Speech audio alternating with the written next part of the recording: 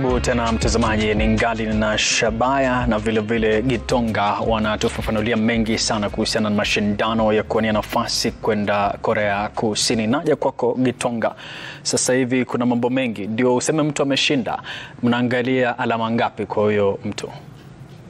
Hatuna, naweza sema hatuna kiwango exact ambacho tunaweza sema hiyo ndo inaonyesha mshindi mm-hmm.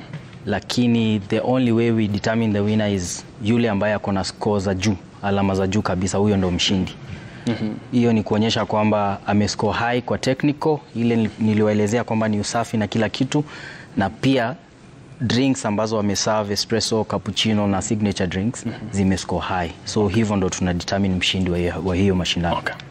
Na hivyo ndivyo Terry ali alitoa ubingwa. kwa usahihi kabisa. Yeah. Hivyo ndio Terry alifanya. Okay, sasa turejee kwako Shabaya. Kuna yeah. kitengo cha tatu sasa hapo mm. kwa kuongeza maziwa. Ndio.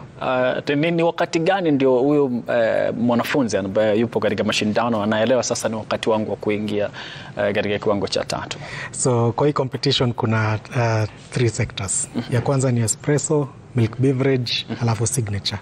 So kwa milk beverage uh, inategemea na barista na kahawa yake. Kama najua kahawa yangu ni sweet enough, kuna kiwango ya kikombe nitatafuta. Okay. yenye nikiongeza maziwa ita overpower hiyo kahawa. Na hii ni coffee competition. So maziwa haifai kupita taste ya kahawa Okay. so kuna hiyo balance sisi mahakimu mm -hmm. tunatafuta Okay. so tunatafuta tu nani kati ya hawa mabarista wote mm -hmm. wamebalance hiyo kahawa vizuri kwa kikombe Mm -hmm. so tukitest tunaangalia flavor tunaangalia texture mm -hmm. venye ametengeneza hiyo maziwa smoothness na pia kama ame amewest maziwa kubaki kwa hiyo picha ya kutengeneza tuna score hizo zote chini Okay. Yeah. Kumewahi tokea wakati moja kwako Gitonga, wanafunzi wawili wamekuja kwa levels zote zinafanana katika kiwango chote? Uh, kusema kweli hilo halijafanyika yet uh, sababu wanaweza kuwa wamescore vizuri, wamescore equally the same kwa, vi, kwa vinywaji pale. Espresso probably the score is the same uh, cappuccino ni the same na signature pia amazing kabisa, lakini unapata kwamba kuna mmoja aliondolewa max sababu alibakisha maziwa kwa jug. oh, Okay. So hiyo alama moja tu ama hata uh, nusu alama 0.5 mm -hmm. enough kukufanya ukuwe namba 2 na moja akuwe namba 1. Ah, Makosa kama hayo ya, ya kusalia kwa maziwa eh, yanafanyikaje? Na ndio mwanafunzi akwepe wakati atapoingia katika mashindano?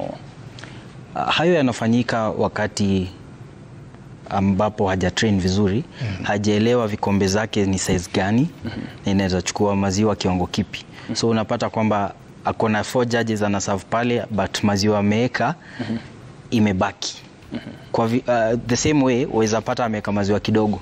So kuna judge moja pale hatapata kikombe complete hiyo pia tunamtoa max Oh, nice. Yes. Kuna hii niliona unasema ndo kushinda sana signature. Eh, watu wanatoana kivumbi kule. Kabisa. Nifafanulie kidogo ndo nifahamu kama ndataka kuingia kwa mashindano nitashindaje, kwa sababu mwingine ana kwa mtindo wake na mimi nina mtindo wangu. Mnaangalia nini ndo ujue huu mtindo utakwenda kimataifa?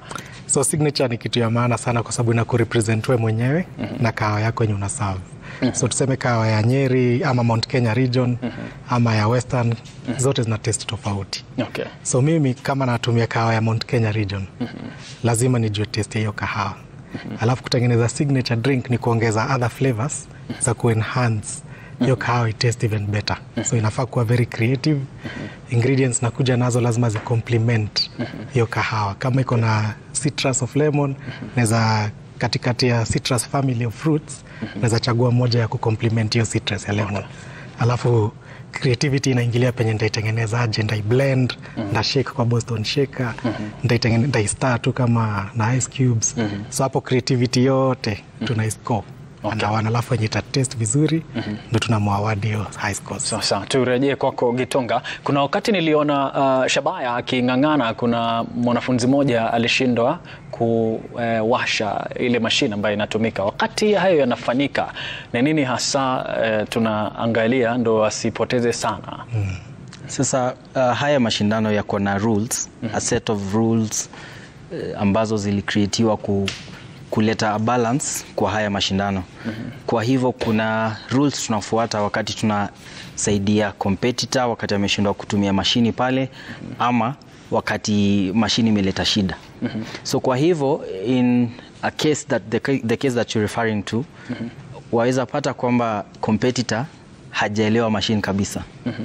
hiyo hatuta- hatutasimamisha wakati lakini iwapo mashini imeleta shida pale stima zimepotea ama maybe pressure imepanda juu sana na hawezi extract kahawa that's a technical issue Okay. so hapo tutamsimamisha wakati and then now she can maybe recollect herself and then eventually start na, na na kwa kiwango ambacho mwanafunzi kwako Shabaya ambaye yeah. ametense Ndio. anaanza kuogopa kufanya kile, huwa mnampatia counseling kidogo kabla aendelee na shughuli lazima lazima kabla tupitie ma- e, tufike kwa hii siku ya competition mm -hmm. kuna kwanga na calibration mm -hmm. day just about two days before the competition.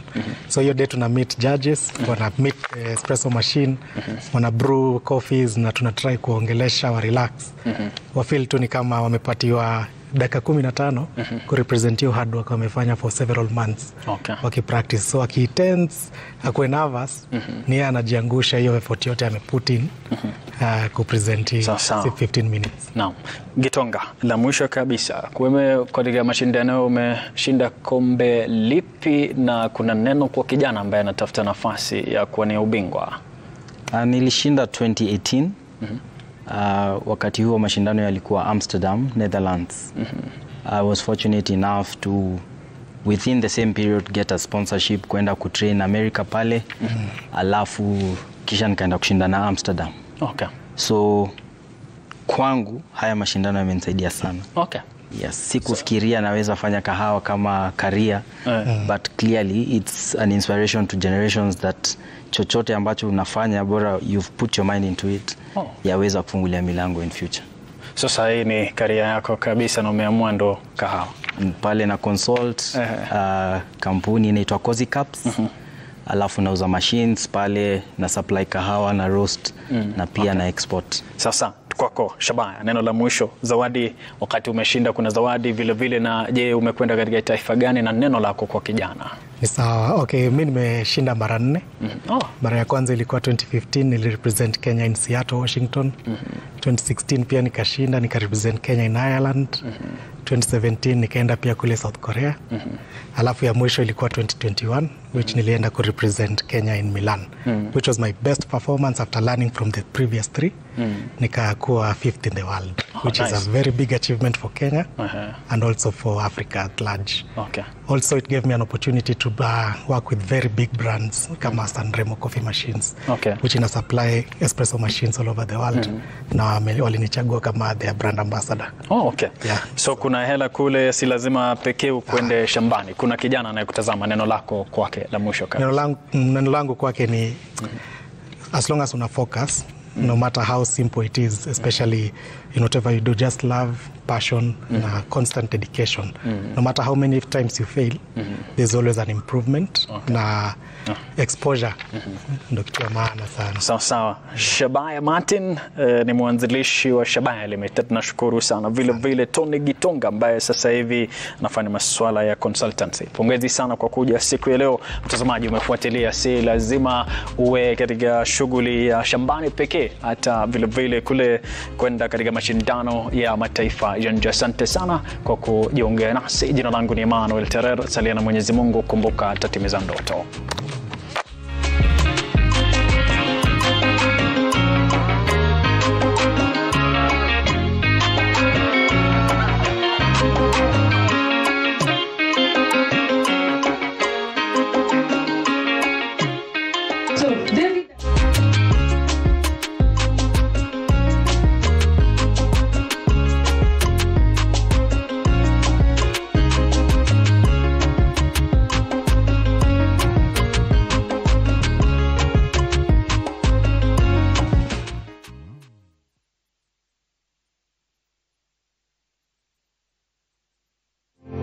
Kenya's Gold, brought to you by